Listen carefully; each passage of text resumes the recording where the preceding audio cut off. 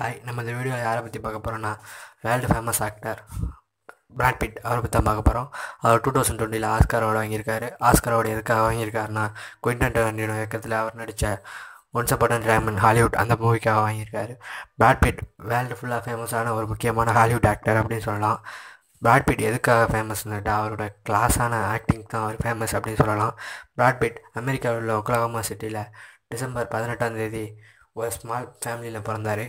அவர் அதுக்கப்புறம் அவர் லைஃப்பை நார்மலாக லீட் பண்ணி கொண்டு போகணும் அப்படின்னு நினச்சப்ப அவர் வாழ்க்கை அவரை சினிமாவை நோக்கி கொண்டு போணுச்சு. சினிமா போன அவர் சூப்பரான படங்களில் நடித்து உலகம் ஃபுல்லாக ஃபேமஸான ஒரு ஆக்டராக மாறினார். அப்படி மாறின பிராட்பிட் அவர் மிக முக்கியமான படங்களை ஹாலிவுட்டில் கொடுத்தாரு. அந்த படங்கள் செவன் அப்புறம் இன்க்ளோரியஸ் பாஸ்டர்ஸ் மேலும் மேலே சொல்லிக்கிட்டே போகலாம் அந்த ஃபைட் கிளப் அது மாதிரியான சூப்பர் ஹிட் மூவிஸை அவர் கொடுத்தாரு. பிராட்பிட் அவரோட ஹாலிவுட் கரியர் ஆரம்பித்து கொஞ்ச நாள் கழித்து ஆண்டிஸ் அப்படிங்கிற ஒரு ஹாலிவுட் நடிகையை திருமணம் பண்ணிக்கிட்டாரு.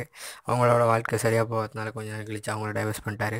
மேலும் மேலும் ஃபேமஸான ஆக்டர் ஹாலிவுட்டில் அவர் வளர்ந்துக்கிட்டே போனார். ஹாலிவுட்டில் மிக முக்கியமான ஆக்டராக அவர் வளர்ந்து வந்த காலத்தில் லியனோட டிகாப்ரியோட ஒரு சிறந்த நட்பு அவருக்கு ஏற்பட்டுச்சு. அது எது மூலியமாக ஏற்பட்டுச்சுன்னா குயின்டன் டரண்டினோ இயக்கிய க்ளோரியஸ் பாஸ்டர்ஸ் அப்படிங்கிற படத்தில் நம்ம பிராட்பிட் நடிச்சிருப்பார். பிராட்பிட் அதுக்கப்புறம் லியோனோடோ டிகாப்ரியோட சேர்ந்து சில படங்கள் நடிக்கிற முடிவுக்கு வந்தார்.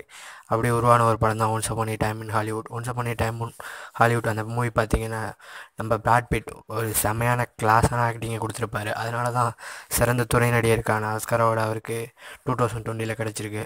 அவரோட ரசிகர் எல்லாருமே அவருக்கு ஆஸ்கரோட கிடைக்கணும்னு ரொம்ப நாளாக ஆசைப்பட்டுக்கிட்டு இருந்தாங்க.